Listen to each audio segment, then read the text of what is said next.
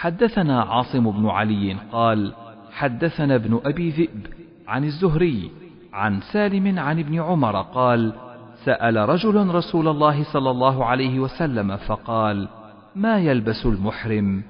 فقال لا يلبس القميص ولا السراويل ولا البرنس ولا ثوبا مسه الزعفران ولا ورس فمن لم يجد النعلين فليلبس الخفين وليقطعهما حتى يكونا أسفل من الكعبين.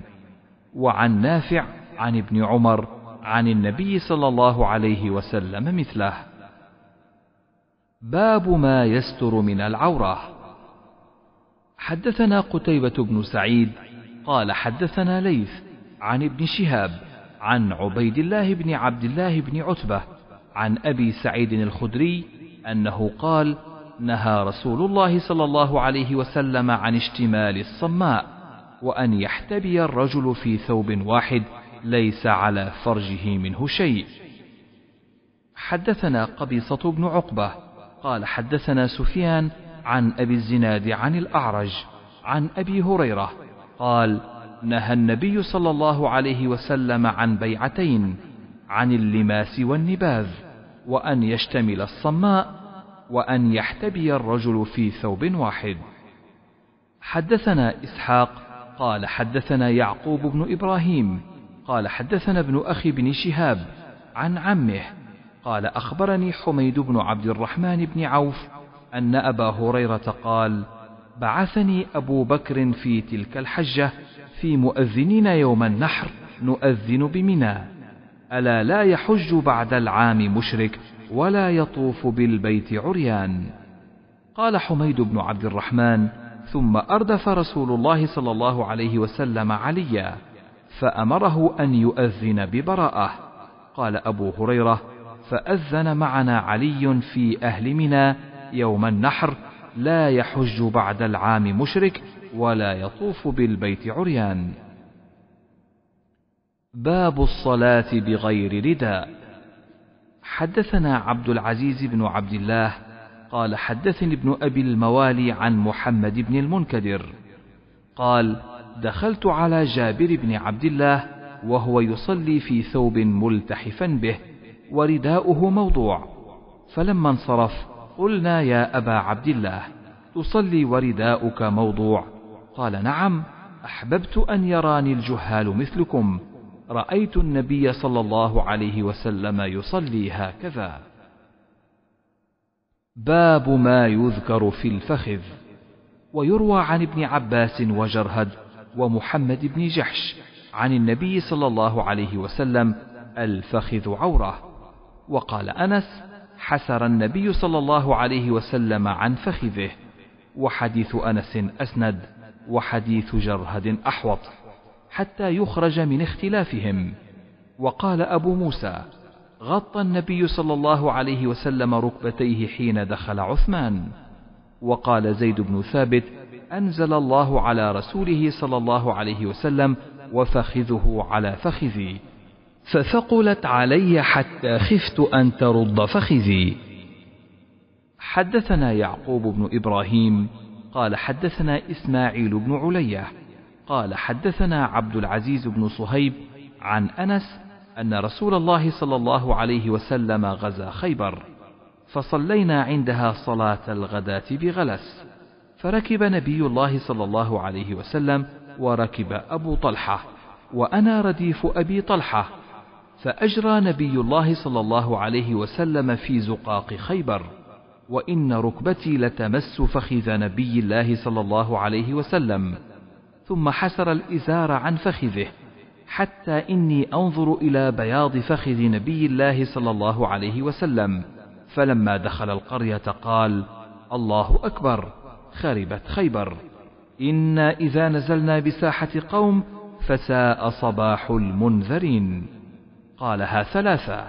قال وخرج القوم إلى أعمالهم. فقالوا محمد. قال عبد العزيز وقال بعض أصحابنا والخميس يعني الجيش. قال فأصبناها عنوة فجمع السبي فجاء دحية فقال يا نبي الله أعطني جارية من السبي. قال اذهب فخذ جارية. فأخذ صفية بنت حيي. فجاء رجل إلى النبي صلى الله عليه وسلم فقال يا نبي الله أعطيت دحية صفية بنت حيي سيدة قريظة والنضير. لا تصلح إلا لك. قال ادعوه بها. فجاء بها فلما نظر إليها النبي صلى الله عليه وسلم قال خذ جارية من السبي غيرها. قال فأعتقها النبي صلى الله عليه وسلم وتزوجها. فقال له ثابت يا أبا حمزة ما أصدقها؟ قال نفسها أعتقها وتزوجها حتى إذا كان بالطريق جهزتها له أم سليم فأهدتها له من الليل فأصبح النبي صلى الله عليه وسلم عروسا فقال من كان عنده شيء فليجئ به وبسط نطعا فجعل الرجل يجيء بالتمر وجعل الرجل يجيء بالسمن قال وأحسبه قد ذكر السويق قال فحاسوا حيسا فكانت وليمة رسول الله صلى الله عليه وسلم. باب في كم تصلي المرأة في الثياب. وقال عكرمة لو وارت جسدها في ثوب لأجزته. حدثنا أبو اليمان. قال أخبرنا شعيب عن الزهري. قال أخبرني عروة أن عائشة قالت لقد كان رسول الله صلى الله عليه وسلم يصلي الفجر فيشهد معه نساء من المؤمنات متلفعات في مروطهن. ثم يرجعن إلى بيوتهن ما يعرفهن أحد. باب إذا صلى في ثوب له أعلام ونظر إلى علمها. حدثنا أحمد بن يونس قال حدثنا إبراهيم بن سعد قال حدثنا ابن شهاب عن عروة عن عائشة أن النبي صلى الله عليه وسلم صلى في خميصة لها أعلام فنظر إلى أعلامها نظرة. فلما انصرف قال اذهبوا بخميصتي هذه إلى أبي جهم وأتوني بأنبجانية أبي جهم فإنها ألهتني آنفا عن صلاتي. وقال هشام بن عروة عن أبيه عن عائشة قال النبي صلى الله عليه وسلم كنت أنظر إلى علمها وأنا في الصلاة فأخاف أن تفتنني. باب إن صلى في ثوب مصلب أو تصاوير هل تفسد صلاته وما ينهى عن ذلك؟ حدثنا أبو معمر عبد الله بن عمرو قال حدثنا عبد الوارث قال حدثنا عبد العزيز بن صهيب عن أنس كان قرام لعائشة سترت به جانب بيتها فقال النبي صلى الله عليه وسلم أميطي عنا قرامك هذا. فإنه لا تزال تصاويره تعرض في صلاتي باب من صلى في فروج حرير ثم نزعه. حدثنا عبد الله بن يوسف قال حدثنا الليث عن يزيد عن أبي الخير عن عقبة بن عامر قال أهدي إلى النبي صلى الله عليه وسلم فروج حرير فلبسه فصلى فيه ثم انصرف فنزعه نزعا شديدا كالكاره له وقال لا ينبغي هذا للمتقين. باب الصلاة في الثوب الأحمر. حدثنا محمد بن عرعرة قال حدثني عمر بن أبي زائدة عن عون بن أبي جحيفة عن أبيه قال رأيت رسول الله صلى الله عليه وسلم في قبة حمراء من أدم.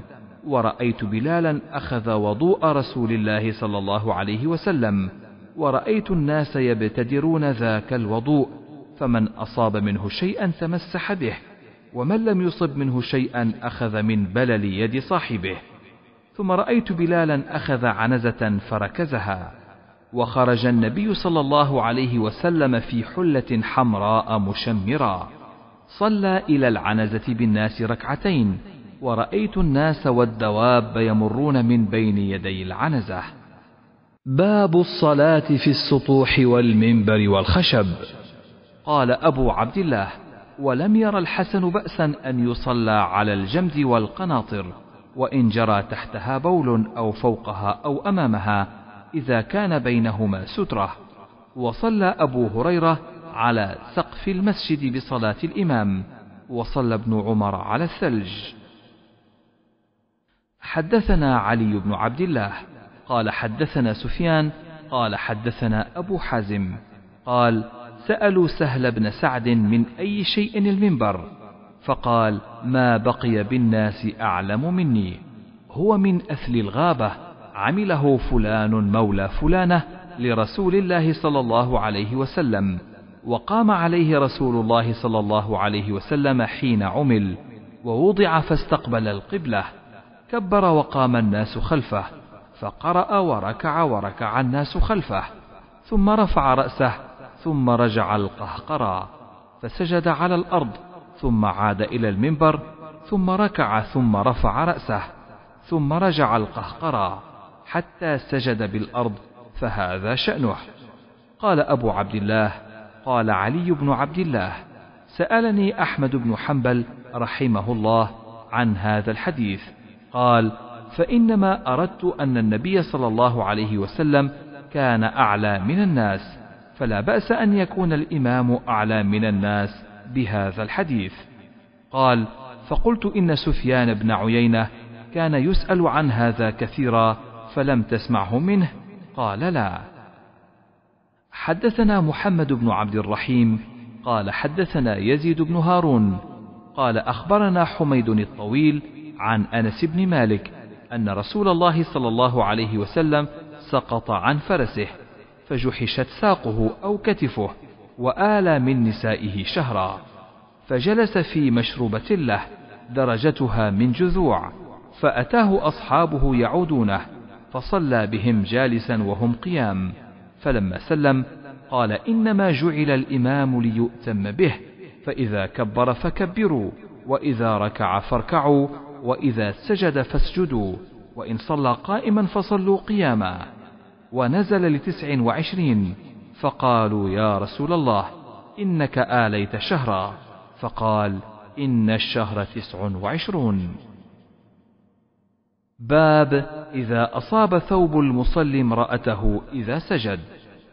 حدثنا مسدد عن خالد قال حدثنا سليمان الشيباني عن عبد الله بن شداد عن ميمونة قالت كان رسول الله صلى الله عليه وسلم يصلي وأنا حذاءه وأنا حائض وربما أصابني ثوبه إذا سجد. قالت وكان يصلي على الخمرة. باب الصلاة على الحصير. وصلى جابر وأبو سعيد في السفينة قائما. وقال الحسن قائما ما لم تشق على أصحابك. تدور معها وإلا فقاعدا. حدثنا عبد الله قال أخبرنا مالك عن إسحاق بن عبد الله ابن أبي طلحة عن أنس بن مالك أن جدته مليكة دعت رسول الله صلى الله عليه وسلم لطعام صنعته له فأكل منه ثم قال قوموا فلأصلي لكم قال أنس فقمت إلى حصير لنا قد اسود من طول ما لبس فنضحته بماء. فقام رسول الله صلى الله عليه وسلم وصففت واليتيم وراءه والعجوز من ورائنا.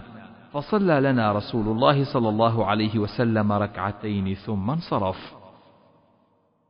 باب الصلاة على الخمرة. حدثنا أبو الوليد قال حدثنا شعبة قال حدثنا سليمان الشيباني عن عبد الله بن شداد عن ميمونة قالت كان النبي صلى الله عليه وسلم يصلي على الخمرة. باب الصلاة على الفراش. وصلى أنس على فراشه. وقال أنس كنا نصلي مع النبي صلى الله عليه وسلم فيسجد أحدنا على ثوبه. حدثنا إسماعيل. قال حدثني مالك عن أبي النضر مولى عمر بن عبيد الله عن أبي سلمة بن عبد الرحمن عن عائشة زوج النبي صلى الله عليه وسلم أنها قالت كنت أنام بين يدي رسول الله صلى الله عليه وسلم ورجلاي في قبلته فإذا سجد غمزني فقبضت رجلي فإذا قام بسطتهما. قالت والبيوت يومئذ ليس فيها مصابيح. حدثنا يحيى بن بكير قال حدثنا الليث عن عقيل عن ابن شهاب قال أخبرني عروة أن عائشة أخبرته أن رسول الله صلى الله عليه وسلم كان يصلي وهي بينه وبين القبلة على فراش أهله اعتراض الجنازة.